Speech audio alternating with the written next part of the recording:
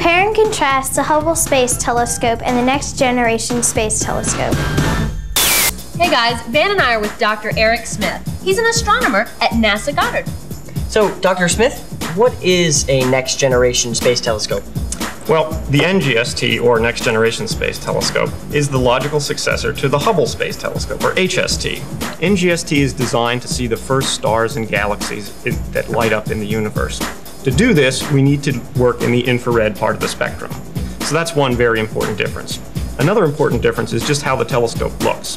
HST looks like a very familiar telescope to most people. It's a tube, it's got a mirror at one end of it.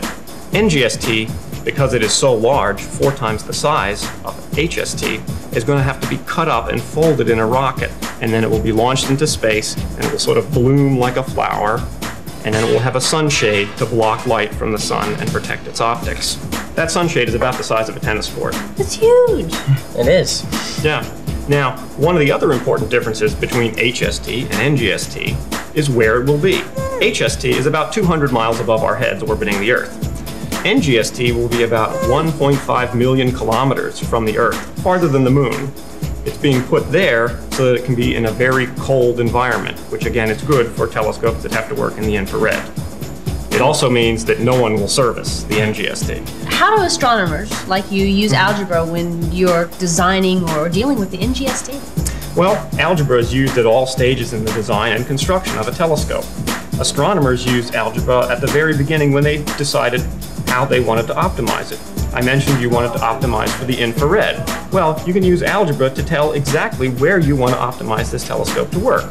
And you do that by studying galaxies and knowing where they emit their radiation. Now, you said that the NGST has a sun shield that's the size of a tennis court? Right. And the reason it has a sun shield is to protect the telescope optics from getting sunlight on them. Wow. Okay. Now, so are you guys working here at NASA Goddard on, on the Sunshield? A little bit, uh, but a lot of work on the materials are being done at NASA Langley. Hey, that's where we're from. Why don't we head down to Hampton, Virginia and meet John Connell and find out more about the Sunshield? Here at the NASA Langley Research Center, we're working on a number of technologies that are relevant to the Next Generation Space Telescope. The sun shield is comprised primarily of polymeric films. Polymer is a term that means many repeat units of the same structure.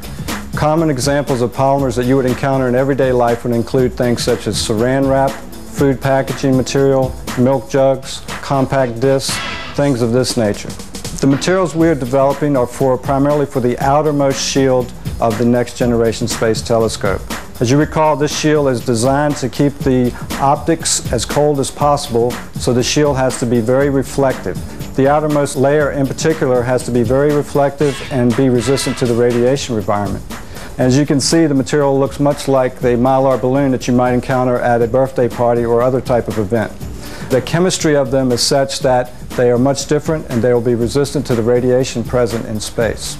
Polymer chemists use algebra in their everyday working activities and the calculation of the recipes necessary to make these advanced polymers.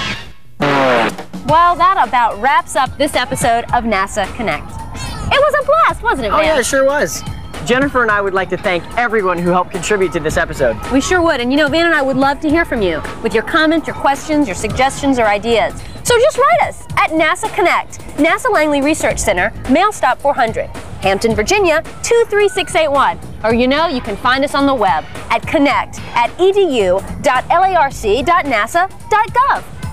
Hey teachers, if you would like a videotape copy of this NASA Connect show and the Teacher's Guide, contact CORE, the NASA Central Operation of Resources for Educators, or check out this website to locate your local NASA Educator Resource Center. All this information and more is located on the NASA Connect website. For the NASA Connect series, I'm Jennifer Pulley. And I'm Van Hughes. See, you next time. Bye. Bye-bye. Fun.